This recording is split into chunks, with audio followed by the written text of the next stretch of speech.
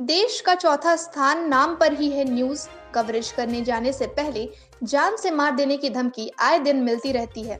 पत्रकारिता करना इतना आसान नहीं, गरीब लाचार असहाय लोगों की बातों को बुलंद करना आसान नहीं। सच्ची पत्रकारिता करना इतना आसान नहीं, कभी बालू माफिया, कभी भू माफिया, कभी लोहा माफिया, कभी कोयला माफियों से सच्ची पत्रकारिता करने पर धमकियों तक सुनना पड़ता है। पत्रकारों को हर वक्त मत्थे पर कफन बांधकर रहना पड़ता है। ना जाने कितनी पीड़ा को झेलकर पत्रकार बनना पड़ता है। बस यूँ समझ ले, खुद भूखा रहकर रोटी का खबर लिखना पड़ता है, फिर भी लगातार पत्रकारों पर हमला बढ़ता जा रहा है। अब तो पत्रकारों को पुलिस की भी धमकियाँ सुननी पड़ती हैं। आज खबर संकलन के दौरान बंगाल पुलिस और आम लोगों के समेत, अरे यार, पैच। आज खबर संकलन के दौरान बंगाल पुलिस और आम लोगों के समक्ष पंचेत पुलिस ने एक जवान ने पत्रकार को कैमरा के सामने यह तक कह डाला, मेरे ऊपर काल मंडरा रहा है। ना, उतना आसान नहीं है। आज पत्रकार को लोहा माफिया, बालू माफिया, भू माफिया से धमकियाँ सुनने का आदत सा हो चुका है।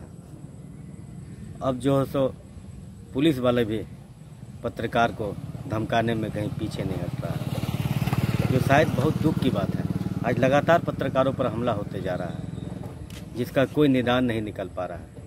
आज हम लोग कहने को तो चौथा स्तंभ है, पर वास्तव में सरकार की ओर से पत्रकारों के लिए आखिर क्या है? कहीं से भी कुछ लेना देना नहीं है। बस हम लोग मैंने अपना अपना मैंने तेल जलाकर, अपना हर समस्याओं को, अपना समस्याओं को छोड़कर हम लोग दूसरे के समस्याओं को उजागर करते हैं। लेकिन फलस्वरूप हम लोगों को मिलता क्या है? धमकियाँ, मार।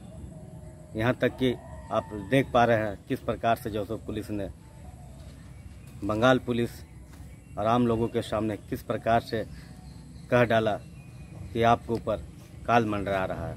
लग रहा है इतने दिनों से हमने जो निष्पक्ष पत्रकारिता जो किया है, चेताक पत्रकारिता जो किया है, शायद उसका फल मुझे बहुत जल्दी मिलने वाला है।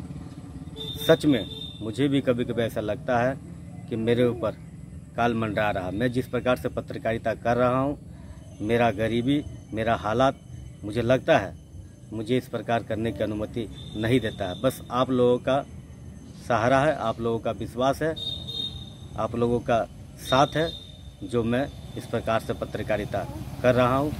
फिर आगे अब देखता हूँ, मेरे साथ में झारखंड सरकार हो या केंद्र सरकार हो, मुझे न्याय दिलाने के लिए क्या कर रहे हैं? धन्यवाद।